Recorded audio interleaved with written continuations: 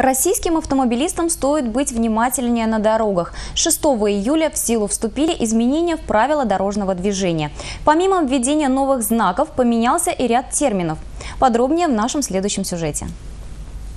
В конце июля Дмитрий Медведев подписал поправки к правилам дорожного движения, согласно которым вводится ряд новых знаков и терминов. Вот некоторые из них. Новый знак «Конец полосы» для маршрутных транспортных средств будет предназначен только для маршрутных транспортных средств и легковых такси. Место стоянки теперь будет называться немного иначе – парковка. А там, где будут производиться дорожные работы, применят временные дорожные знаки, выполненные на желтом фоне.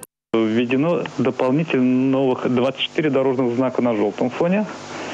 И введены еще э, знаки парковки и таблички. 8 табличек, э, кроме вида транспортного средства. Дорожные знаки на желтом фоне э, предупреждают участников дорожного движения, что впереди ведутся дорожные работы, и при противоречии временных и постоянных дорожных знаков они должны руководствоваться именно временными дорожными знаками.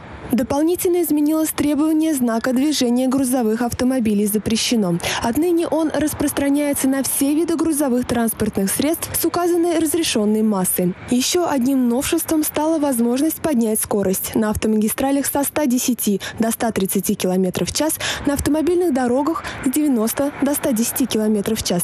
В скором времени новые знаки появятся и на дорогах Чувашии. Татьяна Филатова, Республика.